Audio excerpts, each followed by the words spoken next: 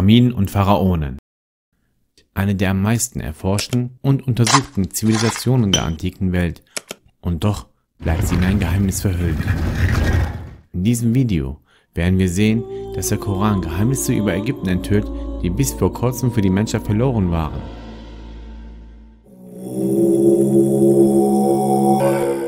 Pharao war ein Tyrann in Ägypten, der die Kinder Israels versklavte und verfolgte. Der Koran sagt folgendes über den Tod des Pharaos und seiner Anhänger aus.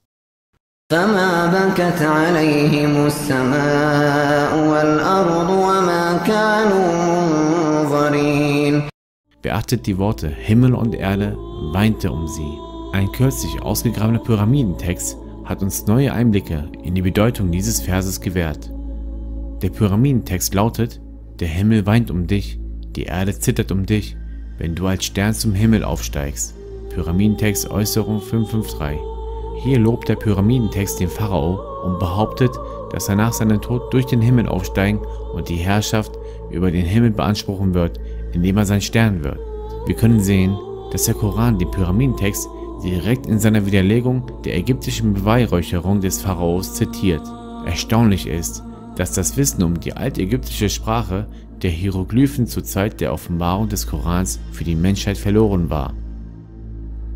Erst durch die Entdeckung eines Artefakts, das als Stein von Rosette bekannt ist, im 18. Jahrhundert, über 1000 Jahre nach der Offenbarung des Korans, konnte die Menschheit die Hieroglyphen vollständig entschlüsseln.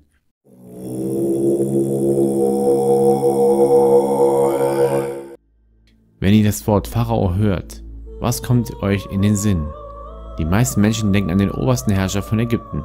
Das ist richtig, aber das Wort bezog sich nicht immer auf den obersten Herrscher. Die altägyptische Geschichte wird in verschiedene Perioden unterteilt. Das Wort Pharao, ägyptisch Pera, hatte je nach Periode der ägyptischen Geschichte unterschiedliche Bedeutungen. Historisch gesehen wurde das Wort Pharao als Titel für den obersten Herrscher erst viel später in der ägyptischen Geschichte verwendet, während der Zeit des neuen Königreichs. Davor bedeutete das Wort großes Haus und wurde verwendet, um den königlichen Palast zu bezeichnen. In der Enzyklopädie Britannica steht Pharao, ursprünglich der Königspalast im alten Ägypten. Das Wort wurde für den ägyptischen König unter dem neuen Reich verwendet. Dann lasst uns die Berichte des Korans über Ägypten im Lichte dieser historischen Fakten analysieren. Wie die Bibel berichtet auch der Koran von den Propheten Josef und Moses, die beide Zeit in Ägypten verbrachten. Josef wird von den Gelehrten auf das mittlere Reich oder die zweite Zwischenzeit datiert, lange bevor Pharao Herrscher bedeutete. In der Geschichte von Josef verwendet der Koran wiederholt das Wort König, um den Herrscher von Ägypten zu bezeichnen. Er wird nicht ein einziges Mal Pharao genannt. Moses wird von Gelehrten auf die Zeit des Neuen Reiches datiert. In der Geschichte von Moses nennt der Koran den Herrscher wiederholt Pharao, er wird nie König genannt. Wir sehen, dass der Koran in seinem Sprachgebrauch genau ist, wenn es darum geht, den Führer Ägyptens in verschiedenen Perioden seiner Geschichte zu beschreiben. Wie hätte der Autor des Korans dies wissen können? Die einzige Informationsquelle über das alte Ägypten, die ohne weiteres verfügbar gewesen wäre, sind die auf der Bibel basierenden Geschichten. Zu behaupten, dass der Koran von der Bibel kopiert hat, ist problematisch, weil die Bibel das Wort Pharao verwendet, um sich auf den ägyptischen Herrscher in der Geschichte von Josef und sogar so weit zurück wie Abraham zu beziehen, was historisch ungenau ist. Der Koran kann nicht von der Bibel abgeschrieben haben, denn der Koran korrigiert die Bibel.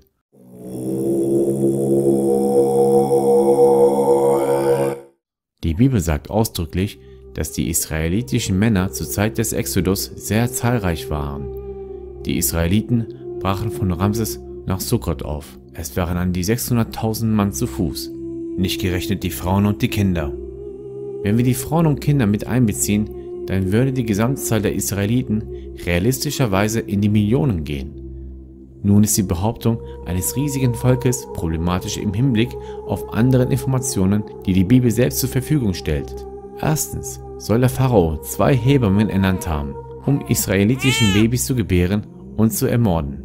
Zu den hebräischen Hebammen, die eine hieß Shifra, die andere Pur, sagte der König von Ägypten, Wenn ihr den Hebräerinnen Geburtshilfe leistet, dann achtet auf das Geschlecht. Ist es ein Knabe, so lasst ihn sterben. Ist es ein Mädchen, dann kann es am Leben bleiben.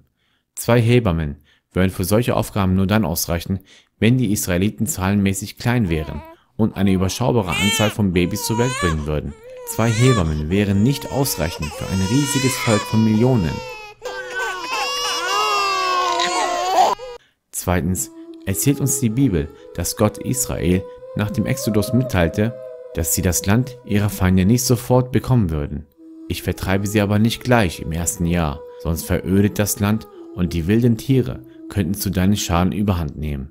Nur allmählich will ich sie von dir zurückdrängen, bis du so zahlreich geworden bist, dass du das Land in Besitz nehmen kannst. Beachtet den Grund dafür, dass den Israeliten die sofortige Inbesitznahme des Landes verweigert wird. Es wird gesagt, dass wilde Tiere sie überwältigen werden. Eine solche Aussage macht nur Sinn, wenn die Israeliten zahlenmäßig klein waren und nicht ein riesiges Volk von Millionen, wie die Bibel behauptet. Im Gegensatz dazu heißt es im Koran, dass die Israeliten zur Zeit von Moses nur eine kleine Schar waren.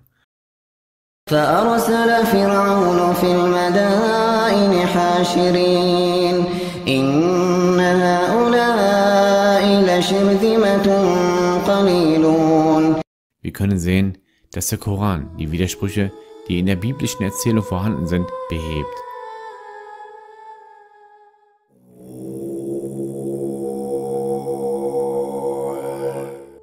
Der Koran gibt an, dass die Strafe der Kreuzigung im alten Ägypten von der Zeit von Moses bis zurück zur Zeit Joses angewendet worden. Nun denkt man bei dem Wort Kreuzigung typischerweise an das römische Kreuz. In der Antike gab es jedoch verschiedene Formen der Kreuzigung. Professor für Archäologie David Chapman schrieb, beim Studium der antiken Welt ist der Gelehrte gut beraten, die Kategorien Kreuzigung, Pfählung und Aufhängung nicht zu starr zu unterscheiden.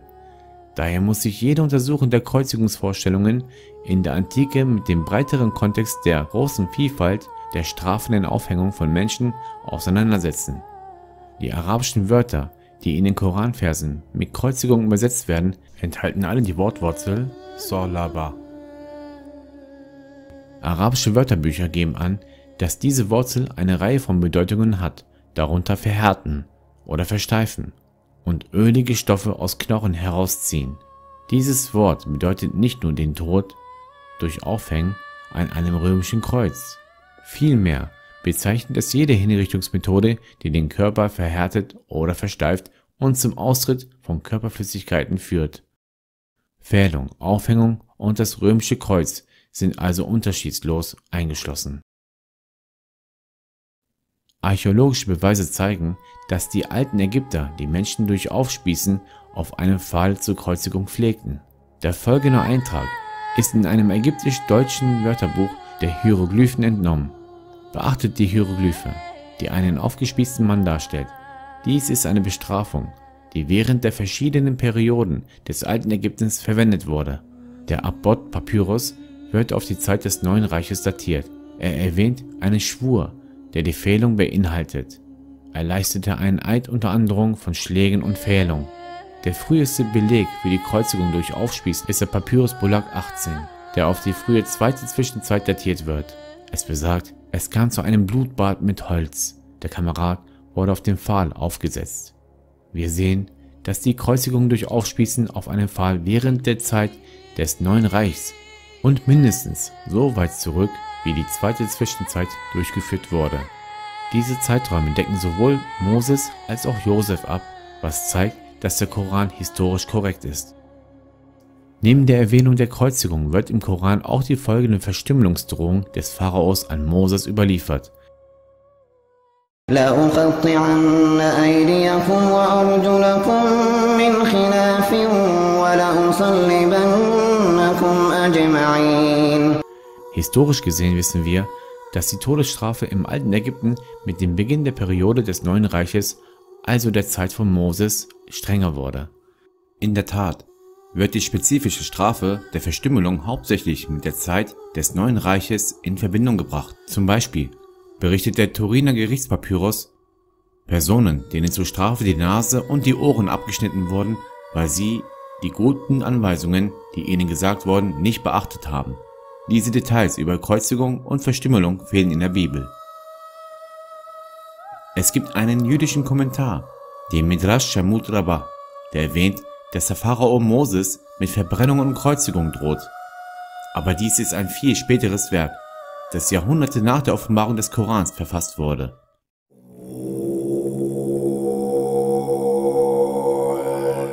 Weder die Bibel noch der Koran identifiziert den Pharao von Moses mit Namen. Wir können anhand der Angaben in den heiligen Schriften versuchen, den Pharao zu identifizieren.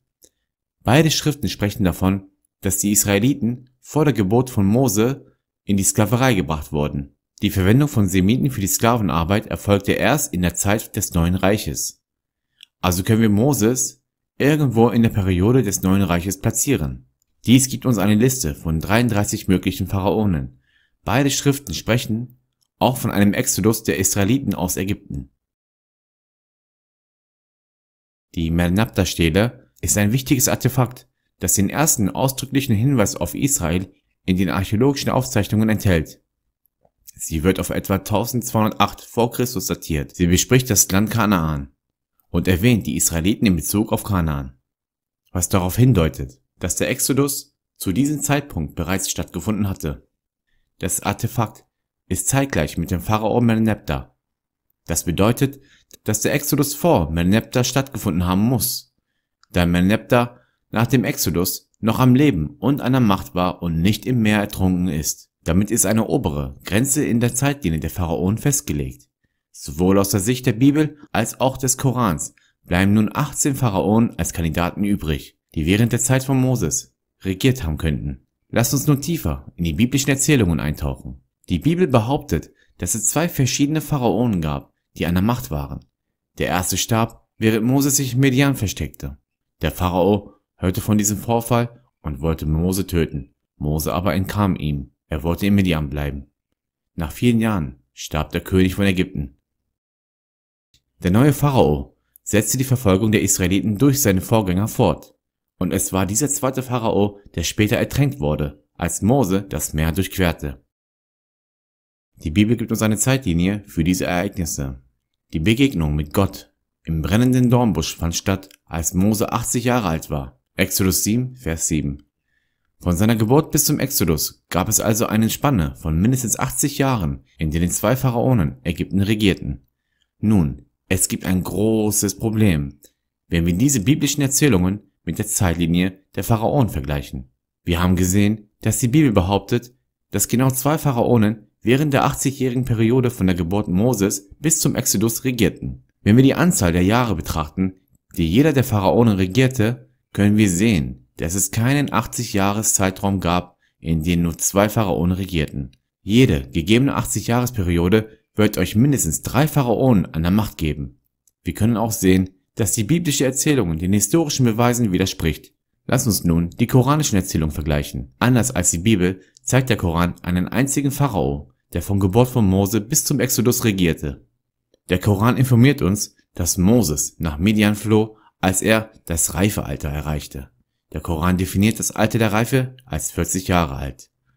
Der Koran informiert uns auch, dass Moses während seiner Zeit in Median acht bis zehn Jahre im Dienst seines Schwiegervaters verbrachte, bevor er nach Ägypten zurückkehrte, um sich dem Pharao zu stellen.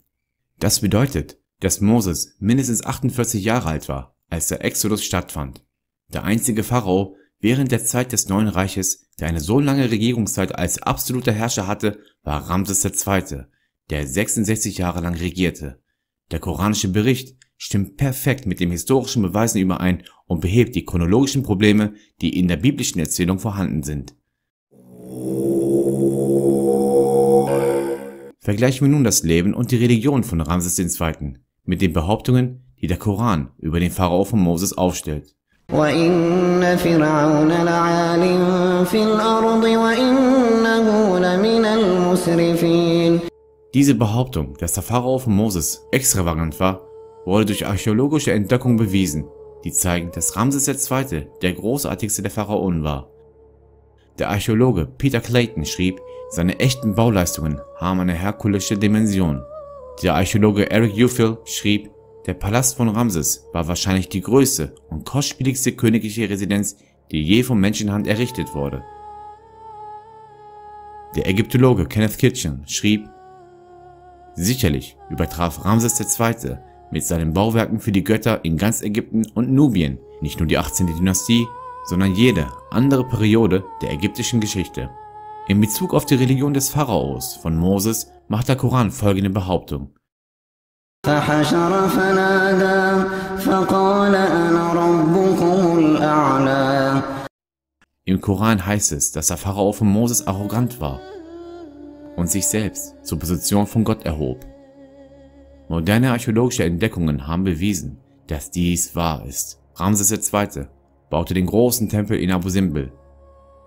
Sein Eingang wird von vier kolossalen Statuen von Ramses II. flankiert, die die Statue von Rahorakti, dem Gott des Horizonts, die sich darüber befindet, in den Schatten stellen. Dieser Tempel enthält auch ein Bild von Ramses II., der ein Opfer für sein göttliches Selbst bringt.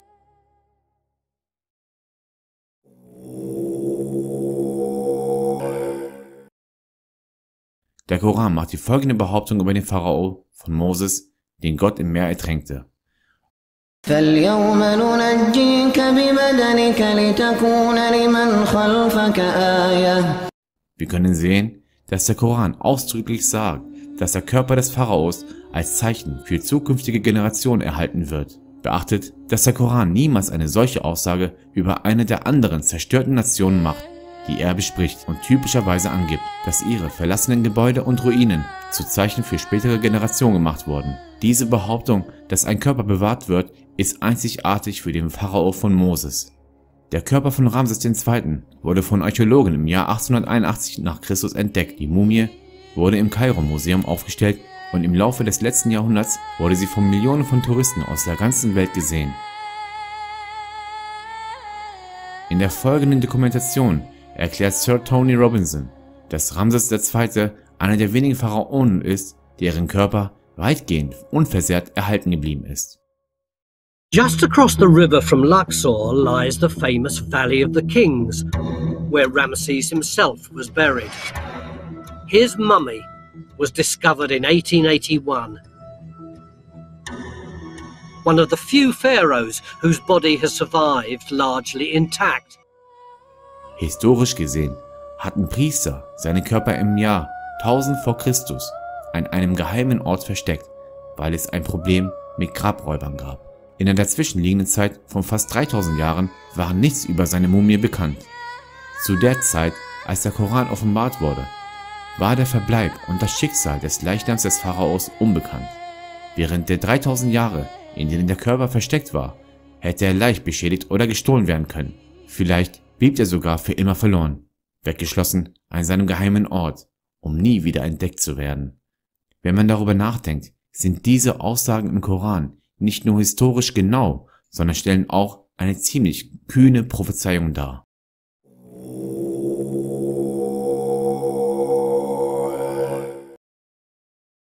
Die Bibel informiert uns über eine Reihe von Plagen, die Gott über Ägypten brachte. Das Buch Exodus informiert uns, dass die ersten sechs dieser Plagen wie folgt sind.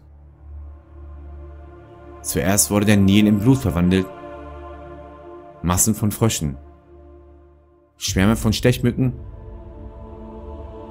Schwärme von Fliegen, der Tod von Vieh, Furunkel an Menschen und Tieren. Nun mag diese Serie von Plagen in der biblischen Erzählung auf den ersten Blick zufällig und zusammenhangslos erscheinen. Der Koran wirft jedoch ein Licht auf diese Ereignisse. Der Koran sagt folgendes über die göttlichen Strafen gegen Ägypten aus. فأرسلنا عليهم الطوفان والجراد والقمل والضفادع والدم آيات مفصلات فاستكبروا Beachtet die erste Strafe, die der Koran erwähnt, eine Flut. Dies ist ein wichtiges Detail, das in der Bibel nicht zu finden ist. Diese Strafe einer Flut erklärt tatsächlich die sechs scheinbar zufälligen und nicht zusammenhängenden Plagen in der biblischen Erzählung. Eine Flut würde dazu führen, dass die hohe Konzentration roter Erde in den Nil gelangen und eine blutähnliche Färbung verursachen, Fische abtöten und das Wasser ungenießbar machen, wie in der biblischen Erzählung beschrieben. Dieses Phänomen ist historisch belegt, wie von einem ägyptischen Weisen aus dem Mittleren Reich aufgezeichnet, der die Nilfluten kommentierte. Siehe, der Fluss ist Blut, man schreckt vor anderen Menschen zurück und dürstet nach Wasser. Auch die übrigen biblischen Plagen lassen sich leicht als Folge der Flut erklären. Frösche, die in Plage Nummer 2 erwähnt werden, sind dafür bekannt, dass sie nach Nilschwemmungen das Land füllen. Der Tod der Frösche, der in der biblischen Erzählung aufgezeichnet wird, kann durch eine Kontamination mit Milzbrand verursacht werden, der von den verrotteten Fischen verschleppt wurde. Mücken, die in Pest Nummer 3 erwähnt werden, vermehren sich nach Nilüberschwemmungen, da die Wasserlachen, die von der Überschwemmung übrig geblieben sind, ihnen eine Übervermehrung ermöglicht hätten. Fliegenschwämme, die in Plage Nummer 4 erwähnt werden, würden durch das massenhafte Absterben von Fröschen auf dem Land hervorgerufen werden.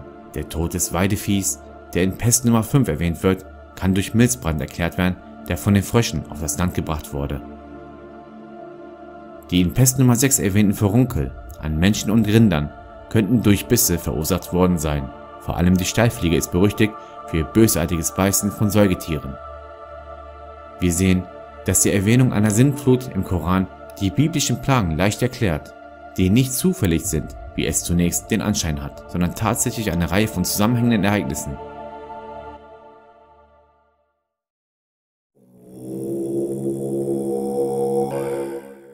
Der Koran erwähnt die folgende Begebenheit über Josef, während er in Ägypten war. وشروه بثمن بخس دراهم معدودة وكانوا فيه من الزاهدين Hier sagt der Koran, dass Josef für einen geringen Preis verkauft wurde. Der verwendete arabische Ausdruck ist Dirhamia Madudatin, der die Wörter Dirham und Madud enthält. Dirham bedeutet eine Einheit der Silbermünze oder des Gewichts. Madud bedeutet zählbar oder zahlenmäßig begrenzt. Der Koran stellt also die Behauptung auf, dass Josef für eine kleine Menge an zählbarem Silber verkauft wurde. Es gibt viele historische Belege dafür, dass im alten Ägypten standardisierte Einheiten von Silber bei Transaktionen verwendet wurden. Kleine Silberstücke, bekannt als Shati, wurden im Handel verwendet. Das Grabmal von Nian Knum und Knumhotep wird auf die Zeit des Alten Reiches datiert. Es enthält eine Szene eines belebten Freilaufmarktes mit Waren zum Verkauf. Kubikmeter Stoff zum Beispiel sollen für 6 Shati verkauft werden. Der mathematische Papyrus von Rind wird auf die zweite Zwischenzeit datiert. Er bespricht die relativen Werte von Gold, Silber und Blei in Form von Shati.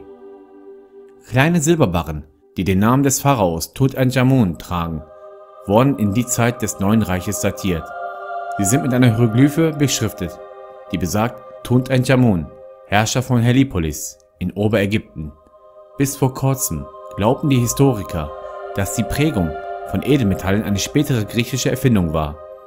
Diese jüngsten ägyptischen archäologischen Entdeckungen haben die Historiker gezwungen, ihr Verständnis der Münzprägung in der antiken Welt komplett zu überdenken.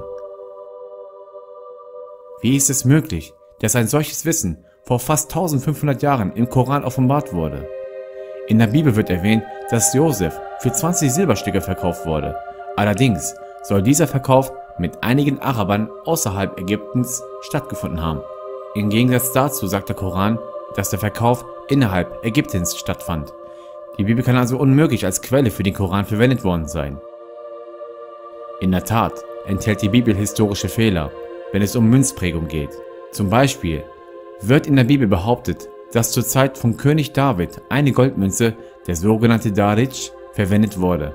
Sie spendeten für den Bau des Hauses Gottes 5000 Talente Gold und 10.000 Golddariken. Historiker weisen darauf hin, dass der Darik nach dem persischen Führer Darius, dem Großen, benannt ist, der hunderte von Jahren nach König David lebte. Die jüdische Enzyklopädie räumt diesen Fehler ein. Ein bemerkenswerter Fall von Anachronismus tritt in 1. Chronik 79,7 auf. Golddariken, Münzen, die nicht vor der Zeit von König Darius I. geprägt wurden, das heißt mehr als 400 Jahre nach David.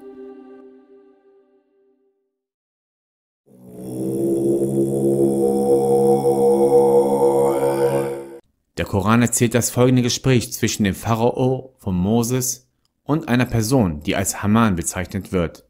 وقال فرعون يا هامان ابن لي صرحا لعلي أبلغ الأسباب أسباب السماوات فأطلع إلى إله موسى وإني لأظنه كاذبا Hier befahl der Pharao, Haman, einen Turm zu bauen, der es ihm erlauben würde, den Himmel zu erreichen. Es ist wichtig zu verstehen, dass die Absicht von Pharaos nicht war, buchstäblich einen Turm zu erklimmen, um den Himmel zu erreichen. Es ist eine Anspielung auf den ägyptischen Glauben, dass der Pharao nach seinem Tod von der Erde in den Himmel aufsteigen und seinen Platz unter den Göttern einnehmen würde. Wie wir bereits erwähnt haben, kannte der Autor des Korans die antiken Pyramidentexte, in denen dieser Glaube beschrieben wird, nicht. Ägyptische Denkmäler beherbergten die Körper der toten Pharaonen.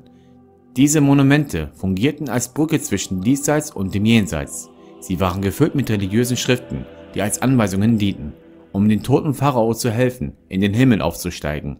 Daher musste die Person, die für den Bau eines solchen Monuments für den Pharao verantwortlich war, nicht nur in der Architektur bewandert sein, sondern auch über ein hohes Maß an religiösen Wissen verfügen, eine Art Baumeisterpriester. Wenden wir uns nun der Geschichte zu, um zu sehen, ob wir eine Person identifizieren können, die als Haman bekannt ist und sowohl ein Baumeister als auch ein Priester war. Wir kamen zu dem Schluss, dass Ramses II., der Pharao, zur Zeit von Moses war. Also konzentrieren wir uns auf diese Zeitperiode. Eine Blockstatue im Ägyptischen Museum München enthält einen biografischen Bericht über das Leben eines Hohepriesters namens Baken Konsu. In seinen eigenen Worten sagt er aus, ich bin ein wahrhaft zuverlässiger, seinem Herrn nützlicher Mann, der in seinem Tempel segensreiche Taten vollbringt. Ich bin der oberste Chef der Arbeiten im Anwesen des Amun. Ich errichtete Obelisken aus Granitstein, deren Spitzen bis zum Himmel reichten. Hier erzählt Baken Konsu, dass er dem Pharao auf zweierlei Weise diente. Zum einen durch die Durchführung von Ritualen im Tempel, zum anderen als Chefarchitekt, der Obelisken errichtete, die den Himmel erreichten. In der Tat war Baken Konsu ein außergewöhnlicher Architekt, einer der größten im ganzen alten Ägypten.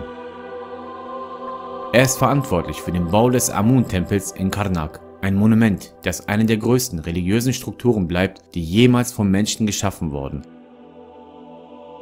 In Bezug auf das Priesteramt informiert uns Bakin Konsu, dass er eine sehr lange und illustre Karriere hatte. Ich war 15 Jahre lang der dritte Prophet des Amun. Ich war 12 Jahre lang ein zweiter Prophet des Amun. Er ernannte mich zum Hochpriester von Amun für 27 Jahre. Hier gibt Bakan Konsu an, dass er dem Gott Amun während seiner gesamten priesterlichen Laufbahn diente. Amun ist der Name einer ägyptischen Gottheit, die während der Zeit des Neuen Reiches zu großer Bedeutung gelangte. Zu der Zeit, als Bokonkonsu starb, war er schon viele Jahrzehnte lang Priester, nachdem er Ramses II. während seiner gesamten Regierungszeit als Hohepriester gedient hatte. Sowohl Ramses II. als auch Bakonkonsu waren Zeitgenossen, die etwa zur gleichen Zeit starben. Was ist mit der Erwähnung von Haman im Koran? Wie bezieht sich das auf Bakonkonsu? Bakonkonsu bezeichnete sich selbst mit dem Titel Hohepriester des Amun. Der eigentliche Satz in den Hieroglyphen lautet Ham, Nata, Tapi, Amana. Das Wort Ham bedeutet wörtlich Diener und Amana ist, wie man den Namen des Gottes Amun im Ägyptischen artikuliert. Baken Konsu war Ham Amana, was Diener des Amun bedeutet. Die Erwähnung von Haman im Koran könnte einfach die arabisierte Version des ägyptischen Ham Amana sein. Lass uns nun die wichtigsten Punkte über Baken Konsu zusammenfassen. Er war eine ranghohe Figur unter dem Pharao Ramses II. und fungierte sowohl als Hohepriester als auch als Chefarchitekt. Er diente im Tempel des Gottes Amun und trug daher den Titel Ham Amana. Es ist klar, dass all die historischen Beweise perfekt mit der koranischen Erzählung übereinstimmen. Nun ist es wichtig, darauf hinzuweisen, dass die Bibel auch einen Haman erwähnt, aber die Ähnlichkeit besteht nur im Namen. Der biblische Haman diente unter einem persischen König und hat nichts mit dem koranischen Haman von Ägypten zu tun. Noch einmal, das sind Details, die in der biblischen Erzählung völlig fehlen. Fazit. In diesem Video haben wir gesehen, dass der Koran einen bemerkenswerten Einblick in viele Facetten des alten Ägyptens hat indem er lange verlorenes Wissen enthüllt und gleichzeitig die Bibel korrigiert. Behauptungen, der Autor des Korans habe von der Bibel abgeschrieben, sind angesichts solcher Fakten eindeutig widerlegt. Der Koran erklärt kühn seine Ursprünge.